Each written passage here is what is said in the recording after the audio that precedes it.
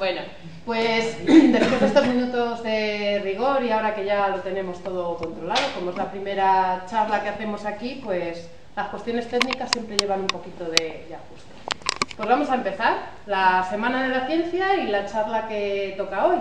Lo primero, daros las gracias por haber venido. Eh, lo segundo, eh, pues eh, agradecer también al Hotel Ciudad Astorga que nos acoge y tan generosamente ha patrocinado parte de esta Semana de la Ciencia.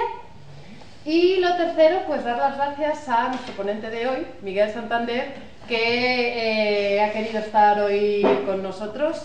Hay que reconocer que es un lujazo tenerle aquí hoy, porque él es investigador astrofísico en Madrid y eh, además es eh, escritor. De hecho, hoy la charla no solamente va a ser una charla sobre astrofísica, sino que también va a presentar un poquito el primer libro que escribió el año pasado, que se llama El legado de Prometeo. De hecho, ha traído algunos ejemplares, por si alguno de vosotros os quedáis con ganas después de la charla y queréis comprar un ejemplar. Además, seguro que no tiene ningún problema en dedicároslo, ¿de acuerdo? Y mm, bueno, deciros, como el año pasado, esto es una iniciativa de la plataforma Hablando de Ciencia y este año también colabora la revista de divulgación científica Journal of Field Synapsis, ¿de acuerdo? Porque este año no solamente hay conferencias, sino que también se ha convocado un concurso de relato científico para jóvenes. ¿De acuerdo? Tenéis toda la información, si queréis más información, en la página web de Hablando de Ciencia, podéis encontrar toda la información acerca de esta semana. Y bueno, decir que Miguel eh, hizo la tesis en, Tenerife, en el centro... El Instituto de Astrofísica de Canarias. Eso, Instituto de Astrofísica de Canarias. Y luego estuvo en, el Observatorio de los Muchachos de La Palma de, Gran Canaria también. Y luego ya fue cuando se volvió... La Palma. La Palma, perdón.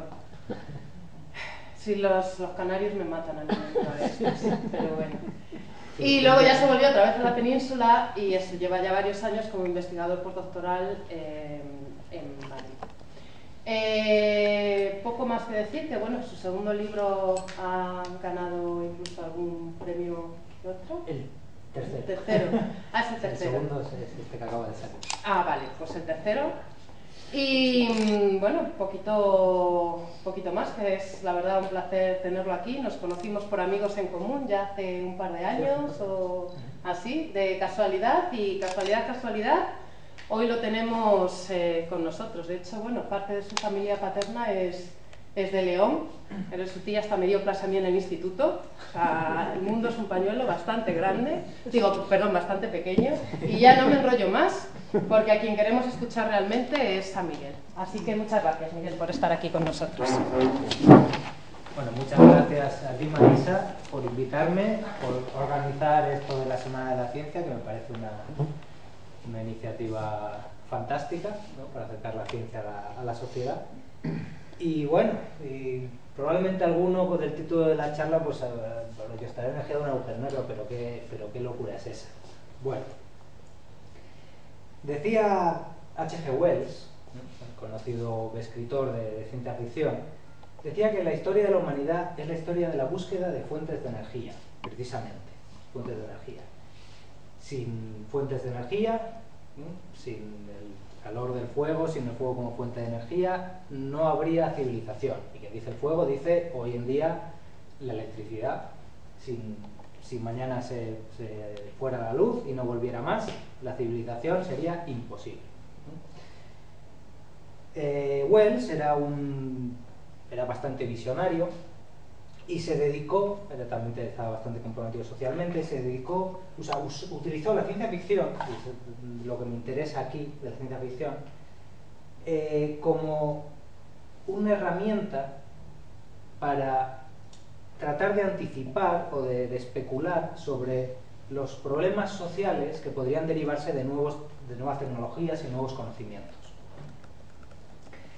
Eh, entre otras cosas, él pues eh, predijo, entre comillas, predijo la energía nuclear en un libro en 1914 de The World Set Free, creo que no está traducido a castellano, donde mm, imagina pues una manera de extraer energía del, átomo no se conocía prácticamente no se conocían ni los, ni los neutrones en aquel entonces, no se habían descubierto.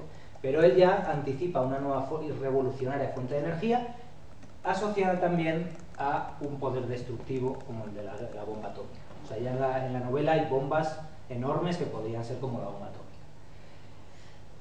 El caso es que la ciencia ficción, además de, además de ser una herramienta de aviso social, también es, mm, creo yo, es una herramienta muy útil porque nos permite preguntarnos por el qué pasaría si. ¿Qué pasaría, por ejemplo, si apareciera, descubriéramos un, artefacto de, claro, origen no natural y no humano en la Luna, por ejemplo. Esto es lo que se plantea en 2001 Odisea el espacio, que se plantearon Kubrick y Arthur C. Clarke, y bueno, pues a partir de ahí especularon qué pasaría en nuestro mundo si, si ocurriera tal cosa. Pero claro, como esto es una charla de ciencia, esto bueno, es una especie de híbrido entre charla y presentación del libro, pero, pero como es una charla de ciencia marcada en la Semana de la Ciencia, y sé que si no Marisa pues me tiraría de las orejas, pues en todos los contenidos mmm, ciencia ficcionosos que aparezcan, pues le vamos a poner una de tres etiquetas. Le vamos a poner, en primer lugar, estará esta etiqueta, que será en todos aquellos casos donde la ciencia eh, de la que hablemos pues se asiente en eh, en la ciencia que conocemos, en lo que conocemos de la naturaleza, es decir, sea ciencia rigurosa. Esta otra intermedia será, serán aquellos casos donde, bueno, está mm, cogido por los pelos, pero más o menos se puede acercar. Y esta otra, que es representativa de, de la película que la acompaña, es que mm, lo que hace es pegar una patada al libro de física y es un desastre absoluto. tiene, lo, que sale ahí, por ejemplo, lo que sale en la película 2012, es que no, no tiene ni pies ni cabeza de principio a fin. Entonces, bueno, cuando digo aquello de que yo venía aquí a hablar de mi libro, este es el legado de Prometeo. Eh, yo me, pregunté hace unos cuantos años, me hice esa pregunta de qué pasaría si, y me pregunté, ¿qué pasaría si mm, encontráramos un agujero negro cercano al, Sol y eh, pudiéramos usarlo como fuente de energía. Vi un, eh, un proceso basado en la relatividad general, en clase y demás, y dije, oye, esto, esto estaría muy bien usarlo, mm, no sé, especular sobre ello. Entonces me emocioné tanto con el tema que me puse a escribir y cuatro años y pico más tarde salió, salió la novela aquí. Y bueno, eh, para darle un, contexto al asunto de los agujeros negros de la fuente de energía, pues vamos a usar la novela. Vamos a imaginarnos que estamos en el mundo de la novela, que es, transcurre a finales de, este siglo, y empieza un poco con esta pregunta. ¿Quién se embarcaría en un, en un viaje de 45 años al espacio profundo sin garantía alguna de retorno? Entonces, de aquí quiero que levante la mano quien, quien dijera, venga, yo, en los próximos tres meses yo, yo me embarco. Igual sí. Todos muy sensatos. Así me gusta. No, lo cierto es que, haceros una idea, pues hay casos, parecidos. El descubrimiento de América, la odisea en la que se embarcó Colón, o el viaje a la Luna, a finales de los años 60. Estas empresas, o sea, todas estas empresas están arriesgadas, mmm, uno podría pensar que se hacen para la mayor gloria de la humanidad o del conocimiento y tal. En realidad no se hacen por eso, se hacen por motivos puramente prácticos y, bueno, puramente pragmáticos, por, necesidad muchas veces. En el caso de Colón, pues era una manera de, de explorar una ruta más corta hasta las Indias, para comerciar. Y en el caso de la carrera espacial, pues al fin y al cabo, pues era una cuestión de ver quién, entre los rusos y los americanos, quién los tenía más grandes, fuertes. al final se reducía, se reducía a eso. Entonces vamos a, vamos a ver la charla en cuatro partes. Primero estudiaremos cuál es el problema que tenemos, después plantearemos una solución posible, después nos preguntaremos si estamos locos y por último comprobaremos que efectivamente hemos perdido todo. Pero vamos, sin más preámbulos, vamos con el problema. El problema, y es un problema que creo yo que, que es mm, bastante mayor que la crisis económica, es la crisis medioambiental. El calentamiento global, cambio climático, llámelo como quiera. El caso es que las predicciones eh, para dentro de 100 años, que se van renovando cada pocos años, eh, nos hablan de un, planeta en el que, bueno, va a ser un bastante más incómodo vivir que ahora. Eh, esto es en parte, en gran parte, es lo que se está determinando ahora, en qué medida exactamente, pero en gran parte está causado por emisiones de gases de efecto invernadero, CO2, dióxido de carbono sobre todo, eh, de origen humano. En los próximos años, pues, eh, veremos ahora cómo, cómo va a evolucionar ese problema. ¿Qué es el efecto invernadero? Que oímos hablar continuamente de efecto invernadero y de los gases de efecto invernadero. ¿Cómo funciona el efecto invernadero? Bueno, la analogía, la analogía más, más fácil, y eh, no muy sorprendentemente, es un invernadero, ¿vale? Porque en un invernadero tenemos un invernadero que está protegido con cristales, por ejemplo, entonces la luz entra a través del, del vidrio calienta las plantas, incide sobre las plantas, calienta el entorno y eh, el suelo del invernadero, las plantas, emiten parte de la radiación que han recibido, la emiten en el espectro térmico. Todos lo hacemos. Por el simple hecho de estar a 36 grados centígrados, uno está emitiendo en el infrarrojo. Pues esa radiación infrarroja quiere salir fuera del invernadero, pero se encuentra con que el vidrio es opaco para ella. El vidrio deja pasar la luz visible, pero la, emisión infrarroja, que está a una longitud de onda completamente distinta, no la deja pasar. Entonces, la luz entra en el invernadero, calienta, la emisión térmica intenta salir del invernadero, rebota y, aquello pues se calienta y se calienta más. Por eso un invernadero funciona como un invernadero. Pues los, el CO2 hace como el vidrio. Es un gas que se deposita en la atmósfera y hace más o menos como el vidrio, deja pasar la luz del sol, pero parte de la, de la radiación reflejada se rebota y vuelve a caer a la Tierra. En realidad el efecto invernadero es vital para la vida en la Tierra. Si no hubiera, eh, si no hubiera habido eh, gases de efecto invernadero en la Tierra, la temperatura sería muchísimo más baja, sería incompatible con la vida. Lo que pasa es que ahora estamos, eh, estamos aumentándolo demasiado rápido para que la vida se pueda adaptar fácilmente. ¿Qué cambios puede haber? Pues a lo largo de los próximos 100 años eh, se prevé un aumento de la temperatura global media de entre 2 y 4 grados, me parece que es, que también puede, puede no parecer mucho, pero es lo suficiente como para que si se da de manera tan abrupta como en 100 años, eh, se cargue gran parte de la biodiversidad. No es lo mismo en uno podría decir, no, pues si sube 4 grados, pues así en invierno no hace tanto frío. Bueno, sí, pero imagínate las olas de calor en verano. Que en vez de 40 o 42 sean 46 o 48.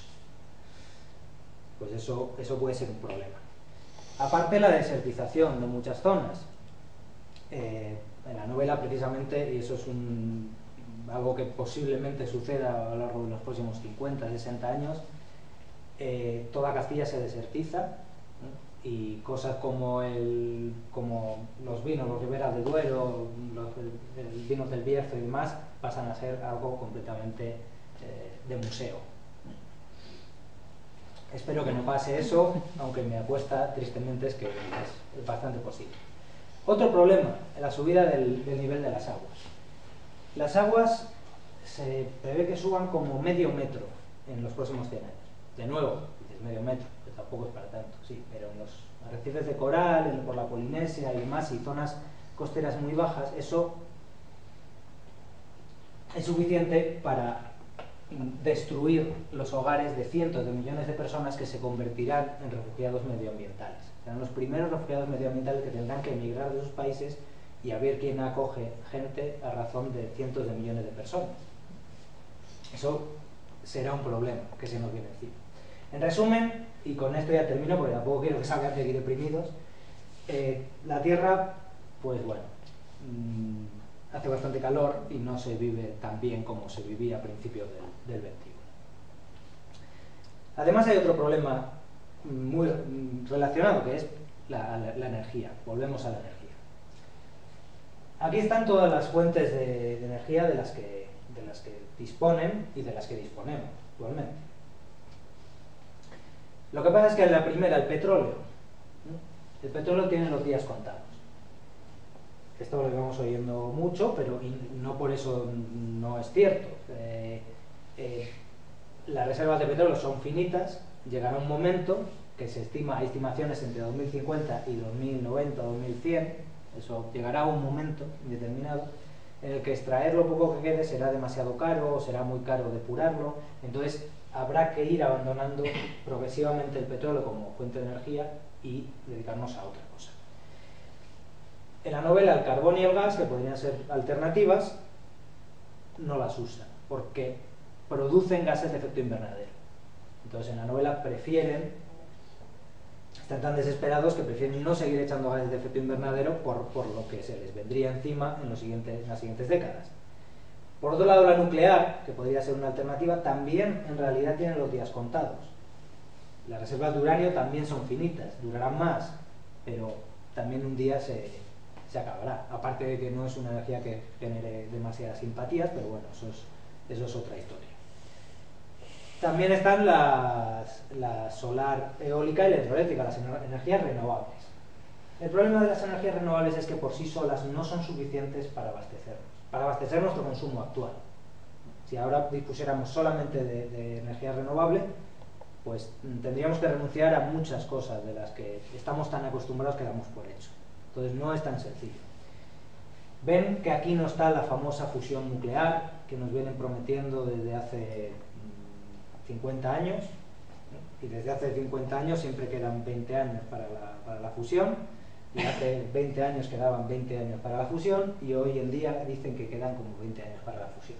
Entonces yo eh, espero que consigan realmente hacer la fusión, porque eso sí que sería una fuente de energía limpia y bastante, bastante renovable y que nos, sacaría de este apriete, pero no las tengo todas conmigo. Aquí es cuando nos vamos a la solución que se plantea la novela. Aquí ya empieza toda la, ciencia ficción. Un científico en la novela descubre un agujero negro a dos años luz del sistema solar. Y propone usarlo como fuente de energía.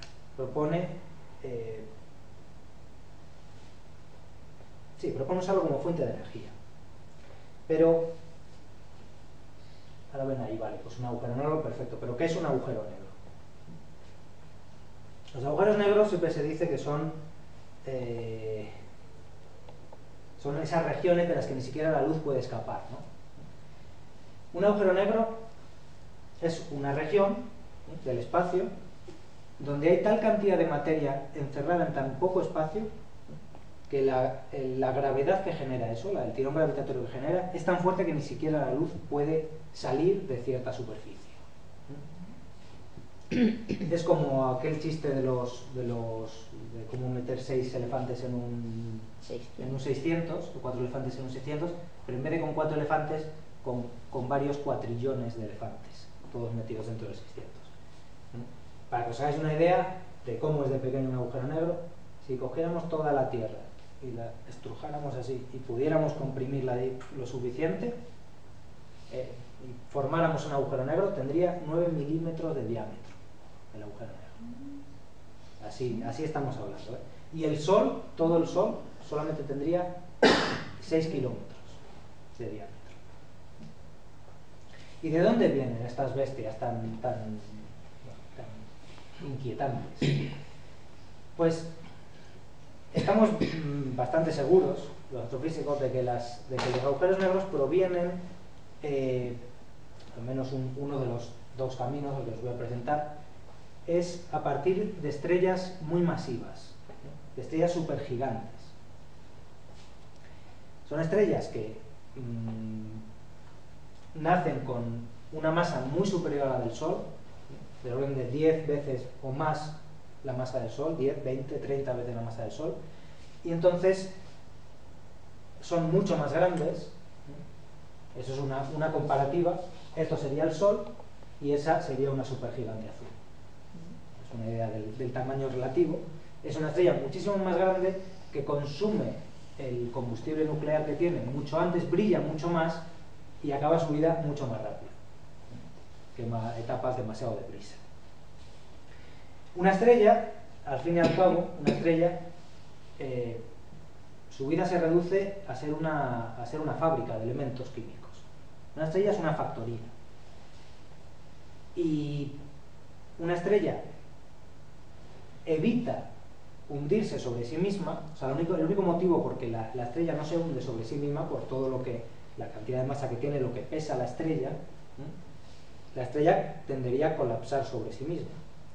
Y el único motivo por el que no se hunde, y, y tiene ese tamaño tan grande, es por las reacciones nucleares que hay en su núcleo. Reacciones nucleares que producen, o sea, que toman primero hidrógeno, el elemento más ligero, y lo combinan de 4 en 4, cuatro núcleos de hidrógeno, y forman un núcleo de helio. Eso se llama, es la reacción de fusión. Bien, pues esa reacción, si tú coges cuatro hidrógenos y los consigues combinar en un núcleo de helio, a cambio ganas un montón de energía en forma de, de luz. Y esa luz tiene capacidad, porque la luz en realidad tiene capacidad de empuje, puede empujar una vela, una vela, una vela no como las de las regatas, sino una vela solar que se llama.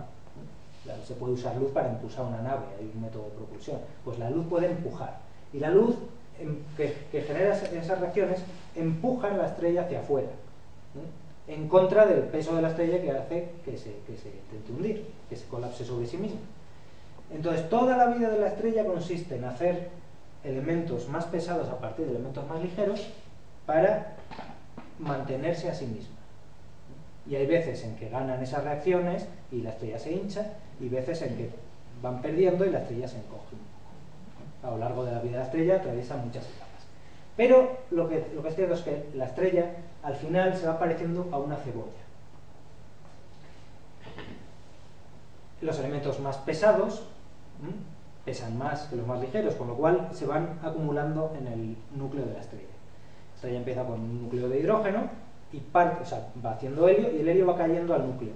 Entonces va quedando un núcleo de helio más pesado que la capa de hidrógeno que le envuelve.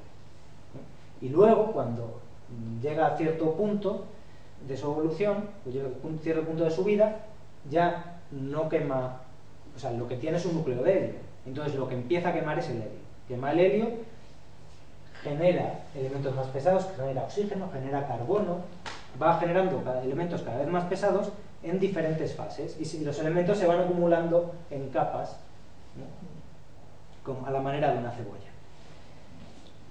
El Sol no llegará más que al carbono, nitrógeno o así y se quedará ahí. Pero las estrellas más, más masivas quieren seguir y seguir y seguir y seguir. Y siguen produciendo elementos más pesados y más pesados cada vez. Hasta llegar al hierro. Y en el momento en que llega el hierro una estrella, dice, vale, pues ahora voy a coger el hierro y lo voy a, lo voy a fusionar y voy a crear algo más pesado. Pues no se puede. Bueno, sí se puede, pero a partir del hierro, en lugar de obtener energía que te sirva para mantener a la estrella, lo que pasa es que tienes que pagarla. A partir del hierro tienes que pagar energía para, para obtener elementos más pesados. Con lo cual, la estrella, que no dispone de esa reserva de energía, se ve con una mano delante y otra detrás, ya no se puede eh, sostener, ya no genera esa presión de radiación que la sostiene y se hunde sobre sí misma. Y lo que ocurre es algo parecido a eso.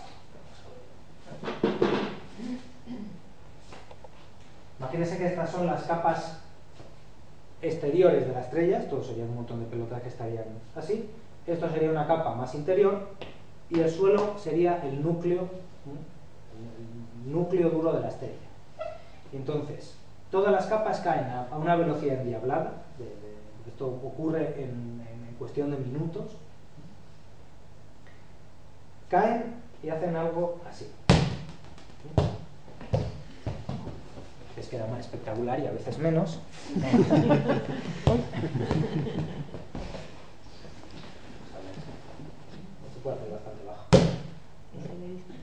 Ha salido bastante más arriba de lo que uno, de lo que saldría si uno simplemente hace así.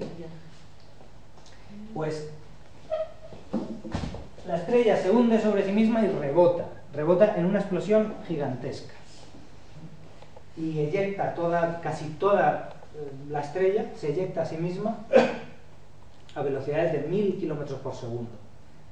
A velocidades mm, bestiales. Bien, pues eso es una supernova. Esta explosión es lo que se conoce como una supernova. ¿Y qué queda después de una supernova? Pues dependiendo de la masa que tuviera la estrella al principio, puede quedar o nada, o si la estrella tenía bastante masa, puede quedar lo que se llama una estrella de neutrones, o si, tiene, si la estrella tenía verdaderamente mucha masa, queda un agujero negro.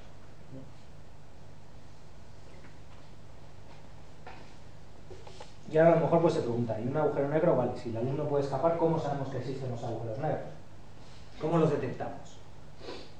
Porque si al fin y al cabo los astrónomos lo que hacemos es observar la luz que viene del, universo. Y si no emiten luz, bueno, pues hay, hay un truco. Realmente los agujeros negros, eh, bueno, los hay que viven aislados, los hay que viven en parejas. Se pueden detectar ambos por mm, de, dos maneras diferentes. Yo les hablo de los que viven en pareja, que es lo, más sencillo. Eh, los que viven en pareja viven con otra estrella.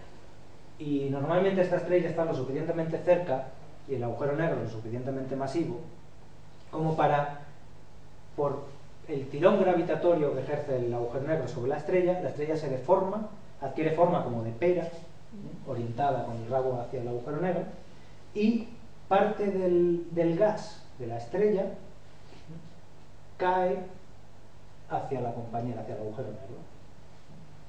el agujero negro es capaz de extraer parte del gas de la estrella y dejarlo girando en un disco a su alrededor.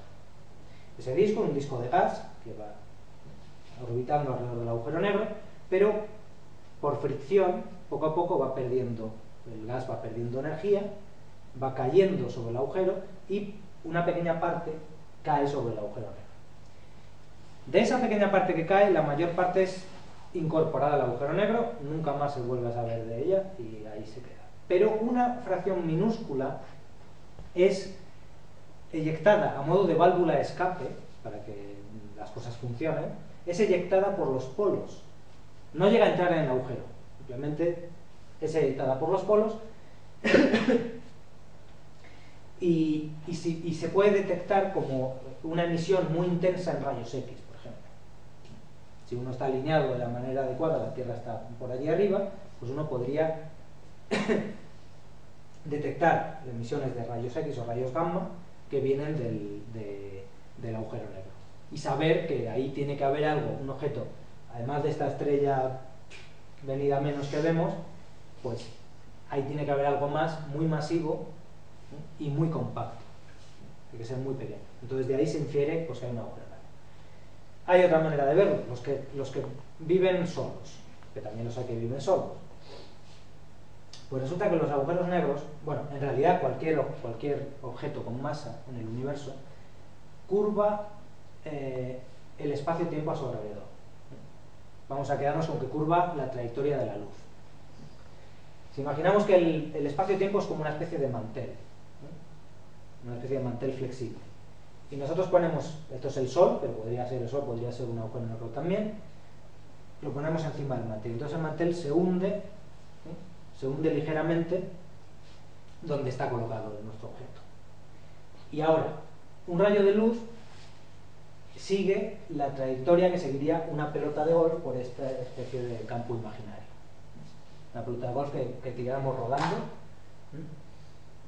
La pelota pues si está ahí la estrella, la estrella emite luz en todas direcciones, pero pues los rayos que venían en esta dirección harían así y como está esto con cierta inclinación en este sentido, pues la luz se curva hacia así tu, tu, y llega hasta la Tierra. Esto sucede, sucede con el Sol, eso se ha medido experimentalmente durante los eclipses, se ha medido que las estrellas no estaban, o sea, justo la estrella que está al lado del, del, Sol durante el eclipse, no está justo donde debería estar, sino un poquito desplazada, lo que, justo lo que predice la, la relatividad general.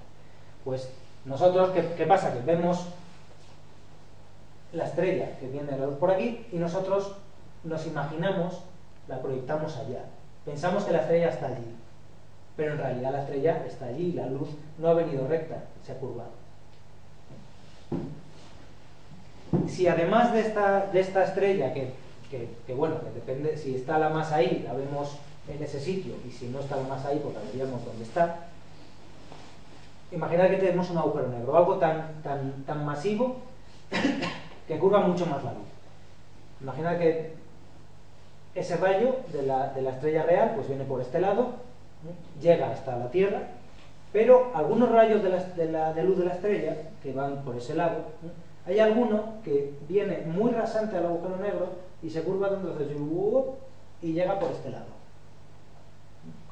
Y es luz de la misma estrella. Y nosotros, claro, si viene por este lado, nosotros hacemos ta, ta, ta, y lo colocamos allí, en el cielo. Lo vemos allí en el cielo. Vemos una estrella allí y otra allí y son la misma estrella. Las estrellas tienen lo que llamamos espectro, que es una especie de huella dactilar de la estrella. Entonces, nosotros podemos saber que dos estrellas que vemos aquí y aquí en el cielo, en realidad son la misma. Si esas dos estrellas son las mismas porque hay un objeto entre, entre la estrella y nosotros, hay un objeto de manera que la luz viene por aquí y viene por aquí. Y la vemos por los dos, por los dos caminos. Si ocurre eso, ocurre también con, con, eh, con, galaxias, si hay una galaxia detrás, pues la galaxia se ve deformada y demás. De hecho, se ve más o menos, esto sería una visión de cómo se vería un agujero negro. Esto es el plano de la galaxia, y ahora el agujero negro se está moviendo por el, por el fondo, y detrás tenemos las estrellas. Esa estrella amarilla, que es Antares, si se fijan, está copiada al otro lado del agujero Todas las estrellas tienen una copia al otro lado del agujero, que es el disco central ese, y cuando la estrella amarilla está justo detrás, entonces la vemos como un arco, como un arco, perdón, como un círculo alrededor del agujero. Y de hecho esto que se ve aquí, este es el plano galáctico, queda copiado al otro lado del agujero, es esa, esa especie de arco que hace así el espacio entre esos agujeros son, bueno, es, esa primera circunferencia donde se ve la estrella amarilla, es lo que se conoce como primer anillo de Einstein, y entre ahí y el disco del horizonte de sucesos que llamamos del, agujero, que es la región a partir de la cual ya, si la luz atraviesa, ya no. es una frontera que solo se cruza en una dirección. Entre el primer anillo de Einstein y ahí hay, eh, hay copias a modo de, espejo de toda la bóveda celeste. Hay copias de todo lo que está en la bóveda celeste, está ahí alrededor también, porque es luz que viene de alguna dirección del agujero y hace justo, da la vuelta y viene hasta nuestros ojos y, queda proyectada ahí dentro. ahí dentro hay una copia distorsionada y reflejada de todo lo que hay alrededor. Bueno, eso ya es, una curiosidad. Pero claro, es que es algo que, si uno estuviera lo suficientemente cerca como para llegarlo a ver así, y esto es muy cerca, eh, la vista pues sería bastante espectacular. Ahora es cuando nos preguntamos si, estamos locos. En la novela, pues el, protagonista plantea eh, utilizar una estación espacial eh, que, estaba en órbita, adaptarla para eh, viajar hasta las inmediaciones del agujero negro y estudiar esa forma de estación de, energía del agujero negro. El problema es que, bueno, aparte de caro, aparte de muy caro, pues un viaje interestelar pues comporta una serie de, peligros que, que, son bastante complicados. Ya no solo un viaje interestelar, un viaje a Marte tiene una, serie de problemas muy difíciles de, son muy difíciles de, solventar. Eh, aquí he puesto algunos, Para hacernos una idea pues, de, lo que, nos de lo que enfrentaríamos. Vamos a verlos uno a uno. Eh, en primer lugar, la distancia. Eh, ustedes han visto esos libros de texto donde, donde, se ve pues, el sistema solar, ¿no? Se ve el Sol y aquí al lado Mercurio, Venus, aquí la Tierra. Bueno, pues esos típicos diagramas de texto nos dan una, una idea bastante errónea de, de, cuáles son los tamaños y las distancias de lo que estamos hablando. Vamos a hacer una, prueba. Vamos a hacer una prueba. Yo tengo aquí esta, pelota de Spiderman que va a ser el Sol. Sí, más o menos. Más o menos. Bien, pues si esto fuera el Sol, la Tierra tendría este tamaño. Un grano de sal gorda. ¿Mm? Así. Ya para empezar estamos hablando de... Vale. ¿Y a qué distancia estarían situados?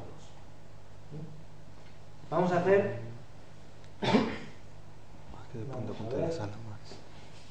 Vamos a hacer un experimento. Yo voy a poner el sol aquí. ¿Me ven todos?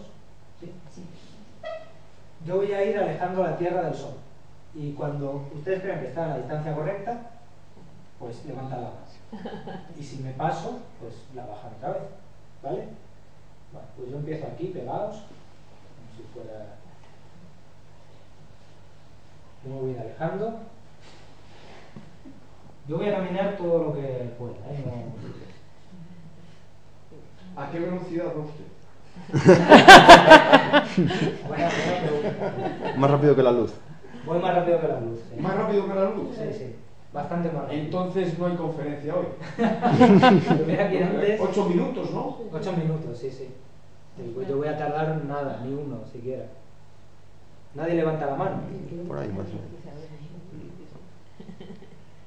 A ver, pero una mano. Al final la tiene que haber levantado todo, porque si no, no tiene, el experimento falla.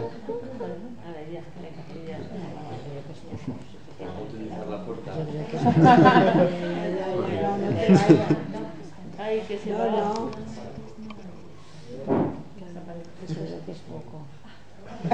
Es más, hasta en realidad es más. Es más hasta, hasta allá. Sí. Estaría más o menos como en otra puerta. Se hace una idea, ¿no? Estaría unos 25, 24 metros, una cosa así. Incluso más de la otra puerta.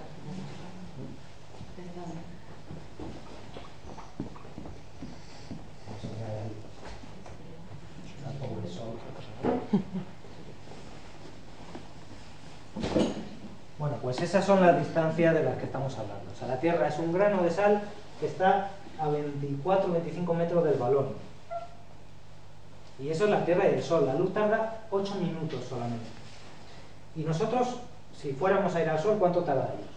Bueno, pues caminando. Si uno pudiera caminar, ¿no? No es línea recta y caminar hasta el Sol. Pero caminar bien, ¿eh? Nada de, nada de un paseíto y luego me tomo una cerveza y me tumbo a descansar. No, no. Caminar bien. 24 horas al día de caminar. Bueno, pues si hubiéramos puesto un egipcio, estaría llegando ahora. ¿Y Fernando Alonso cuánto tarda? ¿Cuánto tardaría? Si tuviera combustible y demás, eh, si no tuviera que parar en boxes a, la del depósito. Si tuviera un Red Bull. Tardaría 60 años en llegar a todo el rato a 300 kilómetros por hora. 60 años en llegar a eso. Y con el medio de transporte más rápido del que disponemos, bueno, o del que disponíamos, porque lo jubilaron, ahora en realidad es, es las naves Soyuz eh, rusas, con esto, con el transbordador espacial, tardaríamos tres meses. Y he puesto ahí un asterisco porque en realidad las cosas en el espacio no son tan sencillas y uno no puede simplemente acelerarse hasta el Sol como en las películas y llegar. Pero para ilustrar lo que es la distancia, sí nos sirve. El transbordador acelerando todo el rato a la velocidad a la que puede llegar a ir, que son 80.000 para kilómetros por hora, tardaría tres meses en llegar al Sol. Vale, pues imagínense si en lugar de 8 minutos luz, que es la distancia de la Tierra al Sol, 150 millones de kilómetros, ahora nos queremos ir al negro, que está a 2 años luz. Bueno, pues si estuviera a 2 años luz, andando tardaríamos 500 millones de años, Fernando Alonso tardaría 7 millones de años, se habría muerto esperándonos. El transbordador tardaría 30.000 y en la novela, pues la nave tarda 20 años. Porque usa un medio de propulsión que es mm, completamente distinto a los cohetes convencionales del transbordador. Pero ahora hablaremos. El medio de propulsión. El medio de propulsión, no, mejor dicho, la, la relación entre la propulsión y el combustible es algo vital en una misión espacial. Uno tiene que impulsarse. Eh, tiene que impulsar y tiene que llevar mucho combustible. Pero cuanto más combustible lleve, más, más pesa, mayor es la masa de la nave. Y entonces mayor es el motor que, tiene, que, necesita para poder, para poder tirar. O menos le va a durar el combustible. Con lo cual, eh, hay medios de, de combustible que son demasiado ineficientes para hacer viajes a largas distancias. En concreto, este, esto es un motor de iones, este parece uno de los medios más eficientes para hacer viajes muy largos. Estos motores existen, se llaman motores iónicos, eh, y básicamente lo que hacen es mm, disparar iones.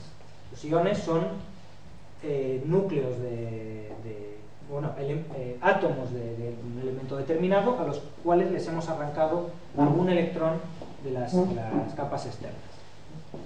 Entonces están cargados positivamente. Y al estar cargados positivamente, quiere decir que se les puede afectar con un campo magnético.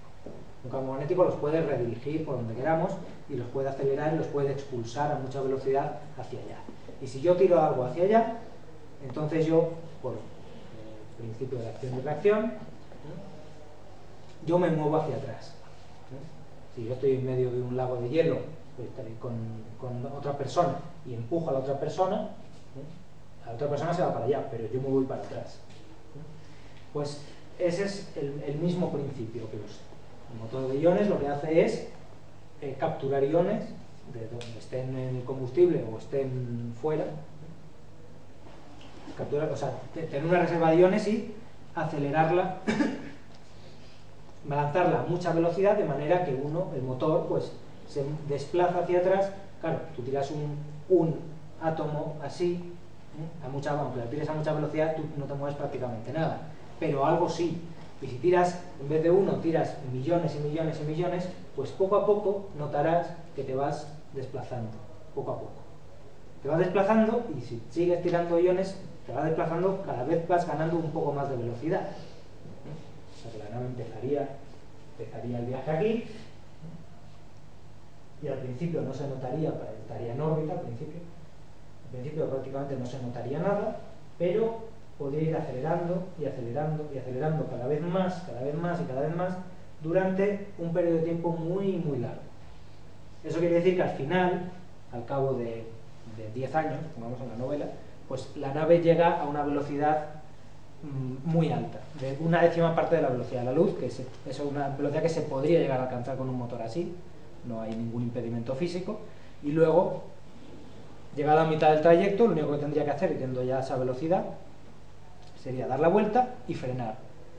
Frenar, iría cada vez más despacio, cada vez más despacio, cada vez más despacio, cada vez más despacio, hasta justo llegar a su destino a velocidad cero. Bien, esta es, este método de, de propulsión es el que se usa, esta es la sonda, eh, a ver si me ha ido el nombre, Deep, Deep Down. Space. ¿Mm? Down. Down. Sí, la que va a hacer Isabel esta. ¿No? Sí, sí, sí. Eh, eh, mm, su misión es estudiar asteroides. Y, este tipo de motores se usan en estas están, los asteroides están muy lejos y son mm, viajes de muchos años en los que, bueno, no importa hacerlo rápido, lo que importa es hacerlo bien y hacerlo de manera eficiente. En el caso de la, de Éxodo, de la estación espacial de la, de la novela, pues usa este tipo de motores, unos motores iónicos estupendos, tan estupendos que, bueno, Eh, hoy en día en realidad no se podrían eh, construir estos motores porque son demasiado eficientes para la tecnología que tenemos hoy en día, pero quizá a lo largo de los próximos 80, 90, 100 años se pudieran desarrollar motores parecidos mucho más eficientes. Al menos, por lo menos lo que en cuanto a la física, pues en este sentido la novela pues es bastante rigurosa, aunque los números están forzados aquí y allá, porque si no, en lugar de, de tardar 20 años, tardarían 3.000 y yo todavía estaría escribiendo que, vamos, ríete tú de Juego de Tronos. Bueno, otro problema. Otro problema al que precisamente nos lleva esas velocidades tan elevadas a las que vamos a, a- a tener que ir. ¿no? Vamos a ir a 30.000 km por segundo, un décimo de la velocidad de la luz. Bueno, pues se han visto pues, el típico mosquito que se estampa en el parabrisas cuando vamos por la autopista, pues imagínense si ese mosquito que viene hacia nosotros a 120 km por hora, si en lugar de venir hacia nosotros a 120 km por hora, que es la velocidad a la que nosotros vamos respecto al suelo, pues viniera a 30.000 km por segundo. Bueno, pues se nos hace un agujero.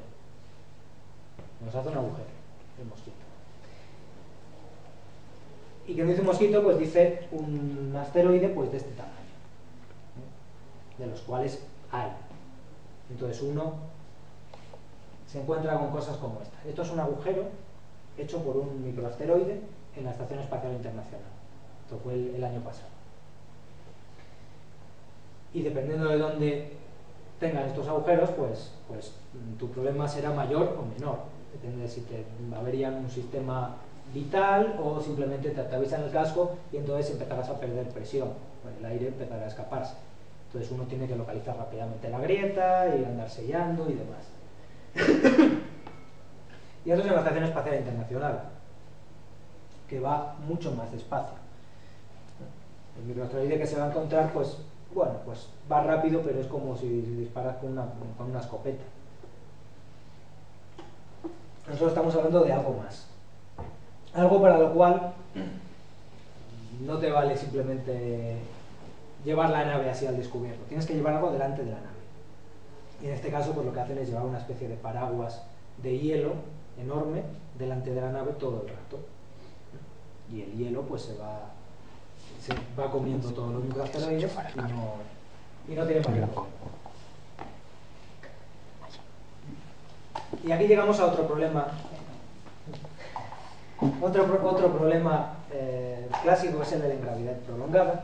Sabemos que los astronautas en, el, en ingravidez, en la ingravidez del espacio, pues sufren eh, problemas de pérdida de masa muscular, de osteoporosis, que, hacen que una misión de larga duración sea eh, bastante problemática. Otras veces tendrían que estar muchas horas en el gimnasio todos los días, prácticamente no saldrían del gimnasio. Y desde luego para alguien así vago como yo, pues ese viaje no sería. Entonces, pues mm, tenemos que ingeniárnoslas para, para crear un entorno donde haya gravedad. ¿Eso cómo se ha hecho? Pues toda la vida de Dios se ha hecho con un generador de gravedad artificial como el que tenían los tripulantes de Star Trek, que lo tenemos por aquí, un Gravity Generator. Bueno, pues este, este generador de gravedad artificial, para que todos pudieran ir tranquilamente como en su casa y en pijama, pues es claramente es un despropósito y no encaja en absoluto con, con lo que sabemos. De hecho, sabemos que no se puede hacer un generador así. Esto no funciona. De hecho, hay, hay maneras mucho más eh, eficientes, sencillas y elegantes de crear gravedad artificial. Que es esta, por ejemplo. No sé si es. Sí, perfecto. Aquí tienen la estación espacial que sale en la película de 2001, Odisea en el espacio, que como ven tiene esa forma así como de rueda de carro, que demuestra que, Kubrick y, y Arthur Clarke viajaron al futuro, me copiaron, el, vieron la portada de la novela y me copiaron el diseño. Eh, pero el caso es que lo hicieron bien, lo hicieron muy bien. Eh, esa rueda de carro, al rotar, produce gravedad artificial. ¿Cómo? Pues yo me he traído aquí mi estación espacial, yo no sé cómo Kubrick, me he traído mi estación espacial low cost, que es un cubo de pegar, y tenemos aquí una tripulación, nuestra tripulación en realidad que va a ponerse ahí en la estación espacial, en el suelo, en lo que va a ser el suelo, ves aquí el fondo. ¿Bien? Aquí tenemos a todos, tenemos ahí al antidisturbios, al político y a, ahí está. Bien. Entonces, ¿ven que está rotando eso? Pues eso, yo hago así. Si giro a la suficiente velocidad, ¿eh? la fuerza centrífuga hace que los astronautas queden pegados a las paredes, a las paredes, al, al- suelo, las paredes interiores de esta nave. Con lo cual es- la gente ahora pues está todo alrededor caminando así. sí, sí, sí. Y de esta manera, pues tú sim- simplemente requiere que tú pongas la nave a girar a la velocidad adecuada y luego ya pares el motor y aquello sigue girando y dentro pues disfrutas de una agradable gravedad pues como en tu casa o más o menos porque hay otro problema también que es el de la radiación- cósmica el sol eh, el sol además de emitir luz eh, emite lo que se llama viento solar ¿eh? el viento solar son partículas cargadas iones como hemos hablado antes que son expulsados del Sol en erupciones y demás a gran, a gran velocidad. A miles de kilómetros por segundo. Y esas partículas, eh, si chocan, si, te dan esas partículas, esos iones, pues te, te- dejan bastante mal, bastante mal. Digamos que eh, son absolutamente nocivos para la vida, son incompatibles con la vida, en el sentido de que producirían unas mutaciones, eh, y no me refiero a la, las de la patrulla X ni nada por el estilo, producirían mutaciones en el ADN de, de- de- o sea, de todas las células. O sería peor que morir de radiación después de Chernóbil o de la bomba de, Hiroshima o demás. Sería una muerte bastante cruenta y, y bastante desagradable. Por fortuna, eso no ocurre en la Tierra. ¿Por qué? Porque la Tierra genera un campo magnético, campo magnético que tiene esta forma, que sale por los polos, sale por un polo, entra por el otro. Que tiene esa forma como de aros así con simetría de revolución, y que, como hemos vi- visto antes, que los campos magnéticos podían dirigir los iones, pues lo que hacen es deflectar los iones que vienen del Sol, como si fueran Star Trek, ¿eh? deflectar esos iones, expulsarlos fuera y una pequeña parte de esos iones pues queda, entra por las líneas del campo y queda acumulada. En esos dos cinturones que se ven aquí, morado y azul, que son cinturones de Allen. Y una minúscula fracción de, ese viento solar, que es tan malo para nosotros, entra de hecho por los polos del, planeta, choca con las partículas de aire de la alta atmósfera, cerca de los polos, y las ioniza, les arranca electrones, y entonces empieza allí a haber transiciones electrónicas y tal, y el aire emite radiación luminosa, radiación de color verde, que suena, eso es lo que son las auroras boreales. Las auroras boreales son, es el viento solar que entra por los polos deflectado por el campo magnético y choca con el aire de la alta atmósfera. Y al excitar ese aire, lo que se produce son esas bellas luces que vemos en los cielos del norte. Por eso, eso de que las tormentas, eh, las tormentas solares muy fuertes y demás, eh, seguro que han oído alguna noticia de que en alguna otra alguna tormenta pasada, el siglo pasado y demás, se pudieron ver auroras muy al sur, incluso a altas latitudes. Pues eso es porque llegó tal cantidad de viento solar que mm, entra más de lo que entra normalmente por los polos y llega hasta más abajo. ¿Vale? Bien, pues ese problema, bueno, esto es otra representación de lo que ocurre con el Sol, por supuesto, a la distancia a nuestra escala. La mayoría del viento solar es deflectado y una pequeña parte pues entra por aquí, ¿vale?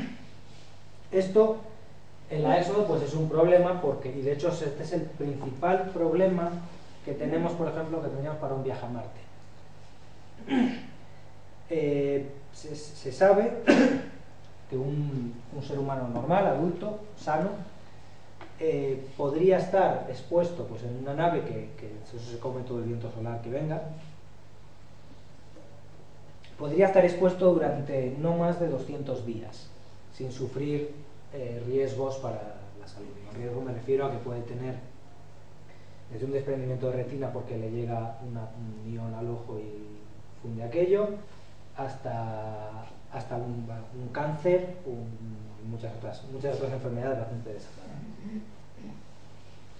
Entonces, en un viaje a Marte duraría bastante más de 200 días, o unos cuantos más, con lo cual esto es un problema importante. Y mm, hoy en día no se, no se conoce la forma de eh, construir esos cinturones de Van Allen que mantendrían el viento solar. Eh, fuera de la nave.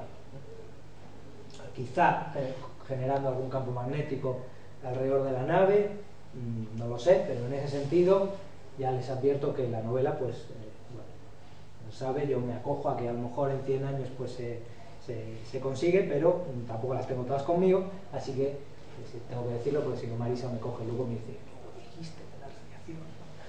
Bien. El último problema es el de la, eh, cómo abastecernos. Nos vamos a ir 45 años, 20 de ida, 5 para estar allí, 20 de vuelta, ¿y qué dónde vamos a meter toda la comida? Tenemos que ser capaces de producir un entorno sostenible y además tenemos que ser capaces de sobrevivir psicológicamente a ello.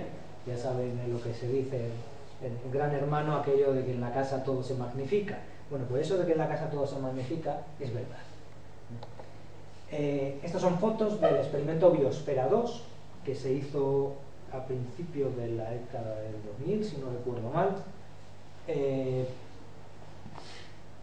en Estados Unidos.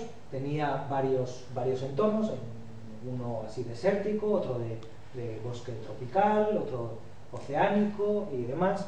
Y entonces, pues, se trataba de ver si, eh, cin- cin- no recuerdo si eran cinco o seis científicos, eh, podían, podían eh, crecer sus propias plantas, su propia comida, poder, eh, podían mantener eh, todo ese ecosistema ¿eh? de manera estable en el tiempo. Claro, tenían, lo que tenían era la luz del sol que entraba por, los- vidrios, un poco medio trampa, eh, porque nosotros no lo tendríamos. Pero bueno, eh, fue un experimento que ¿cómo acabó? Pues, pues acabó mm, que amigos de toda la vida llegaron a los puños. Acabó muy mal, muy mal. Claro, eso de que todo se magnifica es, cierto, que si tú te comiste la única berenjena que quedaba, que si no, que fuiste tú, y dónde estabas ayer, y yo aquí trabajando la huerta y tú eh, tirado ahí en el desierto. Pues la cosa acabó muy mal. Eh, y aparte de eso, bueno, no se con, tenían muy poca comida, también por eso llegaron también a, a- a un- a una situación muy, muy tensa. Tenían, podían producir muy poca comida. Parecía que, a la larga el sistema pues no, era, no iba a ser todo lo estable que, que habría sido. Se han hecho más experimentos parecidos. Este, eh, de Mars 500, consistió en meter a siete astronautas, meterlos en una especie de, de- búnker bajo tierra, que sería como, la, como una nave que va a Marte. Y simular, la idea era simular un viaje a Marte. Pero estaban encerrados allí los 500 días y solamente se podían comunicar pues, por, como lo harían en una misión de verdad. Aquí están los, los astronautas, el que está haciendo la foto no, y aquí pues se puede ver que algún, alguna secuela psicológica sí que debió de quedar, pero por lo menos estos sí llegaron al final del experimento vivos, eh, san- sanos y salvos. En cuanto a la éxodo, pues parece ser que, bueno, sabemos que se tiene que poder eh, hacer, se tiene que poder hacer y sostener un ecosistema porque la Tierra lo es. La Tierra es una nave que va en el espacio. ¿eh? Todavía no sabemos exactamente cómo, cuáles son las claves, pero sabemos que se puede, de hecho. Entonces, en ese sentido, pues pues hay bastante ciencia en la novela.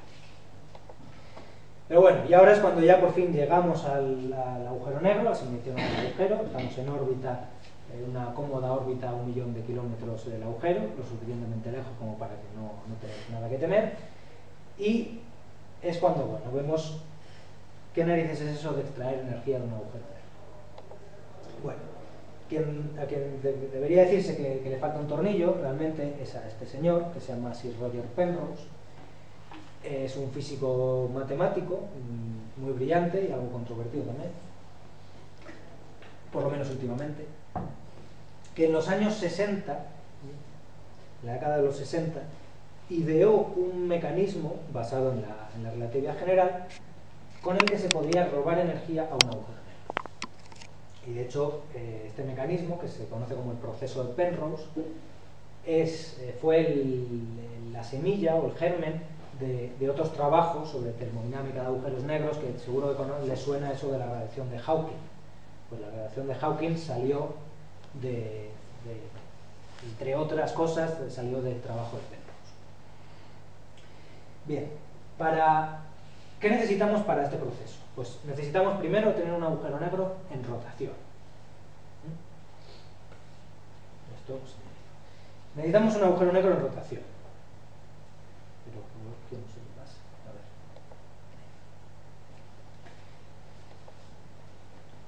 Y cuanto más rápido rote, mejor. Cuanto más rápido rote el agujero, mejor. Aquí, por fortuna, tenemos que los agujeros negros proceden de estrellas. Proceden de estrellas grandes. Los agujeros negros son pequeños.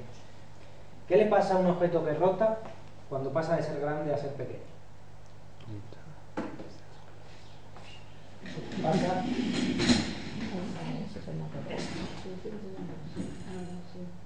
¿eh? se acelera, si hago así, puede mucho más despacio.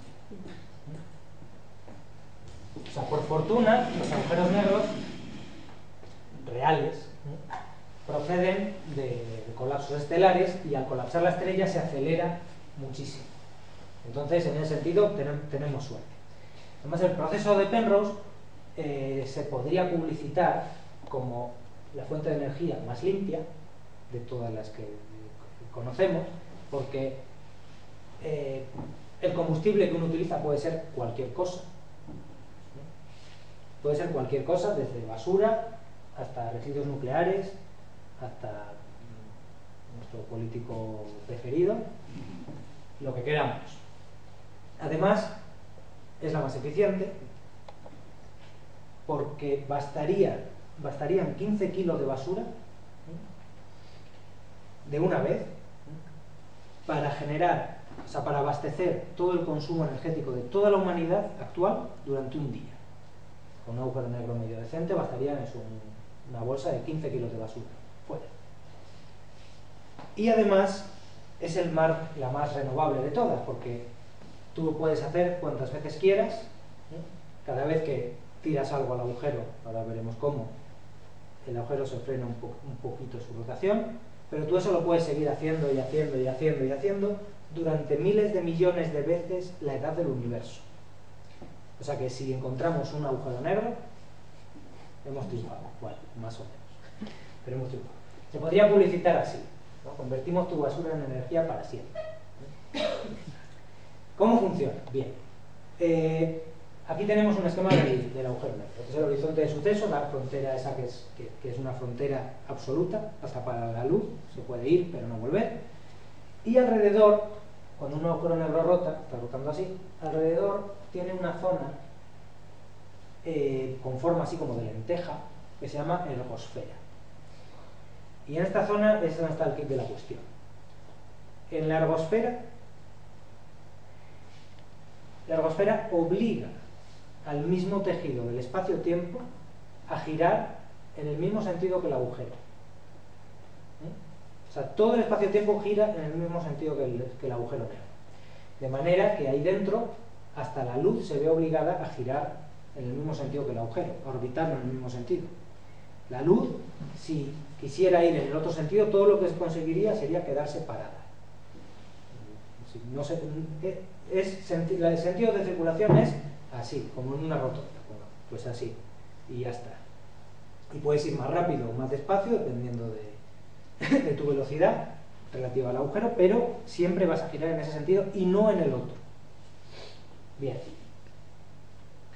Ahora vamos al meollo.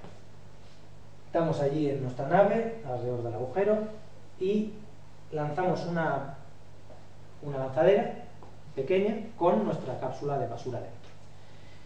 Y la vamos a lanzar con unos raíles electromagnéticos parecidos pues, a los que lleva el, tren de levitación, el maglev, famoso. Que básicamente consiste en que, saben que pues, los polos iguales se, repelen, ¿eh? de manera que tú tienes una vía, tienes este tramo, lo tienes en positivo y este en negativo, este en positivo así, tienes el tren encima con imanes y tienes aquí positivo, aquí negativo, aquí positivo, pues esto va a estar repeliéndose ¿eh? y eh, oponiéndose a la fuerza de gravedad que hace que el tren caiga. De manera que si la fuerza de los imanes es superior, pues el tren, o superior o igual más bien, pues el tren se mantiene flotando sobre, sobre la vía. Y si ahora tú cambias la polaridad de, los, de, la, de la vía eh, de manera alterna, tú pones, aquí está el tren, que este es positivo, y ahora tú pones este negativo. Y entonces este va a tirar de este porque lo atrae, tira así. Y luego cuando llega aquí, pones el siguiente positivo. Y entonces lo atrae así. Pues tú puedes ir tirando el tren. Vas tirando, cambiando la polaridad de los imanes. Tú puedes ir tirando del tren, haciéndolo acelerar cada vez más, y el tren va flotando, acelerando cada vez más. Pues con ese tipo de raíles tú puedes eh, disparar la lanzadera en una órbita que la interne en el agujero negro. Pongamos que está allí, ¿vale? Ahí está la lanzadera, arriba, donde el 1, la lanzadera la, disparamos con unos raíles que pueden tener varios kilómetros de largo, vamos acelerando a toda velocidad el- la lanzadera y llega un momento que la suelta y la lanzadera traza una órbita en espiral, una caída hacia el agujero negro, se interna en la zona esa amarilla que es la ergosfera, en la cual todo gira en ese sentido. Y cuando está en el momento de máxima aproximación al agujero, cuando está lo más cerca posible, pero sin llegar al, sin llegar al horizonte de sucesos, porque si no, no podría volver, lanza la basura hacia atrás. Y lanza la basura hacia atrás a toda la velocidad que puede. y aquí, aquí está el, kit de la cuestión. Eh, normalmente la basura orbitaría en el, en el sentido contrario, porque la lanza muy, muy rápido. Orbitaría en sentido contrario, pero la ergosfera la obliga a girar en el mismo sentido que el agujero negro. La obliga, no tiene más opción. ¿Qué pasa? Que gira en el mismo sentido que el agujero negro, pero va más despacio que el agujero negro, que va debajo rotando. Es como si yo estoy rotando aquí en esta silla y alguien, alguien se me aproxima por aquí así, pero más despacio, y me, tira algo que va más- rotando más despacio que yo. ¿Qué me va a pasar a mí? ¿Qué va a pasar? Que la basura quiere ir para atrás, pero no tiene más remedio que ir para, adelante más despacio que la lanzadera, con lo cual la lanzadera la ve alejarse. Y la basura cae prácticamente a plomo sobre el agujero negro. O sea, ca- prácticamente, va un poco rotando en el mismo sentido, pero va mucho más despacio. Cae a plomo y pasa a formar parte del agujero negro, la perdemos para siempre. La masa del agujero negro se incrementa un poco y su rotación se frena un poco, porque iba rotando a cierta velocidad y le han, tirado, le han pasado algo que iba un poco más despacio. Entonces, el agujero frena un poco su rotación, ligeramente, una pizca nada más. Pero esa pizca es, eh, en, nuestro- en nuestros términos, es una cantidad descomunal. ¿Y esa cantidad descomunal a dónde va? Esa cantidad de energía, pues la energía al final se tiene que conservar, es uno de los principios fundamentales. Pues esa energía va al único sitio al que puede ir, a la lanzadera. La lanzadera, en el intercambio, gana una cantidad inmensa de energía, en forma de energía cinética, se acelera, sale des- despedida en una órbita que sale del agujero negro y un tiempo después la podemos recoger en nuestra estación con los mismos raíles con los que la lanzamos, pero haciendo que el proceso de inducción electromagnética, haciéndolo al revés, de manera que intercambiamos, frenamos la lanzadera y a cambio obtenemos energía eléctrica. Y esa energía, que es una cantidad desorbitada, podríamos mm, radiarla a la Tierra por medio de, de haces de microondas o mm, por el medio que, que estimáramos oportuno. La novela es, eso, eso es otro, otro asunto. Eh, y esto es el proceso de péndulos. Eh, no lo he dicho, pero en cuanto a eficiencia deja completamente en- a la altura de la suela del zapato eh, a, a la fusión nuclear y a la fisión nuclear y a cualquier otra forma de energía que conozcamos, que tiene una eficiencia pues del, del 0,1 y del 0,7%. 0,7% de la, energía que contienen los cuatro núcleos de hidrógeno que se usan para la fusión, eso es lo que ganamos nosotros de, de energía eléctrica. Es una cantidad muy pequeña. Con esto es más del 100% de la energía que contiene la basura. Aquello de E igual a mc cuadrado, que la masa por el simple hecho de existir almacena una cantidad de energía, que es muy grande, pues si la basura la basura tiene una cantidad de energía enorme, pero que no podemos aprovecharla, pues con un agujero negro podríamos aprovechar, convertirla puramente en energía y además ganar un poco más. Es una cosa impresionante. Por supuesto tiene problemas, tiene algunos problemas como que no, que no he comentado. Para empezar, la velocidad de eyección. Bueno, este sí lo comento. Eh, la cápsula tiene que eyectar la basura para que el proceso funcione de manera eficiente, tiene que expulsarla a más de la, de la mitad de la velocidad de la luz. Eso es, eso es muy rápido, mucho más rápido de lo que cualquier tecnología actual nos, nos permitiría. Yo no sé si a lo mejor con una serie de explosiones nucleares controladas, no lo sé, pero eso, eso es un problema. Y luego aparte hay otro del que no habla, que es fundamental, las fuerzas de marea. Las fuerzas de marea de la Luna sobre la Tierra, y aquí pido perdón por poner una fórmula, es la única que va a haber en toda la charla, eh, son las que, las que crean las mareas en los océanos. La cosa funciona más o menos así. La Luna, que en realidad está muchísimo más lejos de lo que se ve en la figura, atrae a diferentes partes de la Tierra con cierta fuerza. Que es mayor, tanto mayor cuanto menor sea la distancia. Entonces, a esta parte de aquí la atrae con cierta fuerza, que es mayor que la fuerza con la que atrae al extremo contrario, que está más lejos. Y eso hace que la Tierra se deforme un poco, pase de ser una esfera a ser una especie de, de- de- de elipsoide, y esa deformación la nota mucho más el agua que- que los objetos sólidos. Por eso, el mar, los océanos, en realidad tienen una forma así de elipsoide que va siguiendo la luna. Y cuando nosotros estamos en un sitio y el elipsoide pasa y es más alto, pues decimos que la- es marea, eh, sube la marea. Y cuando baja, pues decimos que baja la marea. Esos, esos son las mareas, en definitiva. Pues cuanto más masivo y, y más cerca esté un objeto de otro, eh, más mayores son las fuerzas de marea que se ejercen. Entonces, un agujero negro, un agujero negro podría, si una estrella, por ejemplo, se acercara demasiado al agujero negro, la despedazaría. Porque la diferencia de fuerza con la que, o sea, eh, con la que tiraría de un extremo de la estrella y del otro extremo sería tal que la estrella se desgarraría y, caería en espiral hacia el, hacia el agujero. Lo que le pasaría a una persona pues sería parecido.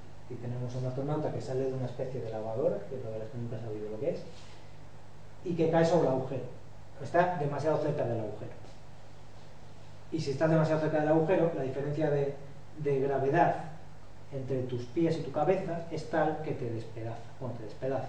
Más bien te, Te estira. te estira así en una suerte de espagueti y este proceso se llama espaguetización y es así, se llama así de verdad, espaguetización. Mete un espagueti así finísimo y caes al agujero.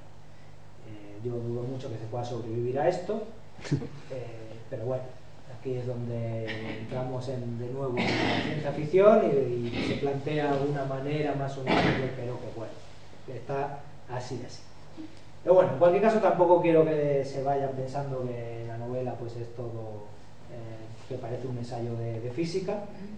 No es así, está escrita con otra idea en mente para que cualquiera lo pueda, la pueda disfrutar y en realidad, pues en realidad de lo que va pues es de otras cosas que es de lo que va un poco la literatura, relaciones humanas y hay unos conflictos psicológicos curiosos.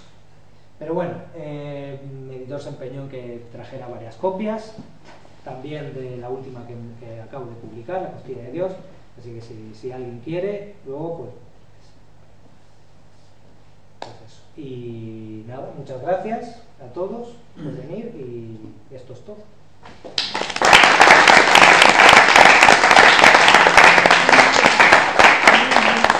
Bien, muchas gracias Miguel por la charla. No sé si alguno tenéis alguna pregunta para Miguel. Yo tengo. yo tengo Adelante. A ver. Que no podemos ir a un agujero negro ni acelerarlo y tal. ¿Por qué no se puede crear un agujero negro aquí? Eh, hombre, poderse se podría crear. El problema es que uno no solo tiene que crearlo, tiene que ponerlo a rotar. Y, para ponerlo a rotar uno emplearía toda la energía que luego le va a sacar. Con lo cual, eh, Es un es poco- no, la- no- no he visto nunca cuentas de, de- de si se podría hacer, pero a mí la intuición me dice que no. A no ser que uno pues lo construyera, pues yo qué sé, lo construyera para que pudiera encontrar una manera de, comprimir la luna, por ejemplo, o el sol, o lo que fuera, comprimir en un agujero negro y entonces ya te vendría de gratis. Pero, pero si no, tú tienes que invertir la energía para crear el agujero y que esté en rotación. Tiene que rotar muy rápido. Es, es problemático eso. En realidad, claro, todo esto es ciencia ficción, porque por ese camino a mí me da la impresión de que no se puede. De que no se puede. O sea, de que para ese viaje no se necesita la forja, vamos, es como vender el coche para comprar gasolina. Me da la impresión, no estoy seguro tampoco. Y por el otro, en realidad, el agujero negro más cercano que, que conocemos está a 8.000 años luz de la Tierra, o 7.000 y pico. Con lo cual, pues por ese lado tampoco vamos a ir próximamente a un agujero negro. Y aún así, aunque pudiéramos, pues la- el problema de las fuerzas de marea y algún otro como el de la velocidad de eyección, pues nos dificultaría la tarea bastante. O sea, que tenemos que seguir con el petróleo mientras podamos. Sí, en definitiva sí, pero, pero hay que investigar las fuentes de energía ya- por la cuenta que nos trae, vamos, no, no por otra cosa. ¿Alguna pregunta más? Que, yo por lo menos no entiendo nada. A mí me ha gustado, claro, me ha gustado, pero sin entenderlo, sin ser capaz de... Vaya. No es que usted no se haya expresado bien, es que yo no comprendo bien tanta... No, entonces es que no me he expresado yo todo lo bien No, que sí se debería. ha expresado, sí, sí, es que está ya fuera de mi capacidad de, de captar bien todo, lo que usted es, es complicado y en el proceso de Penrose yo confieso que yo mismo no lo entiendo del todo bien. Tengo, tengo mis Entiendo que son unas cantidades exageradas de, de- de distancias y de Sí. fuerzas y de cosas. Pero por lo menos dar una idea de eso. Pero que yo para hacer una pregunta, pues, no, la. Sí, quería decir una cosa, el movimiento de los agujeros negros, eh, no el de espiral, sino el que se muevan derecha e izquierda, así teóricamente, ese movimiento se sabe, eh, o sea, ¿cómo podríamos saber si va, hacia dónde va? Porque teóricamente no se sabe realmente dónde- hacia dónde se dirigen, ¿no? No, hombre, se sabe dónde están, pero eso, la respuesta a esa pregunta es la misma que, que si te lo preguntara sobre, las, sobre estrellas. O sea, tú ves una estrella en un sitio y esa estrella se está moviendo, igual que el Sol se está moviendo. El Sol se está moviendo en una órbita alrededor del centro de la galaxia. Todas las estrellas de la galaxia se mueven en una órbita alrededor del centro, o alrededor de otras que están, que están cerca y tal, pero al final todas hacen una especie de coreografía alrededor del centro de la galaxia. Y da una vuelta cada no sé cuántos cientos de millones de años. Entonces, los agujeros negros serían exactamente igual. O sea, también estarían sujetos a la misma mecánica orbital y estarían también dando vueltas alrededor del centro de la galaxia. Donde, por cierto, hay un agujero negro supermasivo, que son que es de varios millones de, de veces la masa del Sol. Eso es el centro de nuestra galaxia, un agujero negro enorme.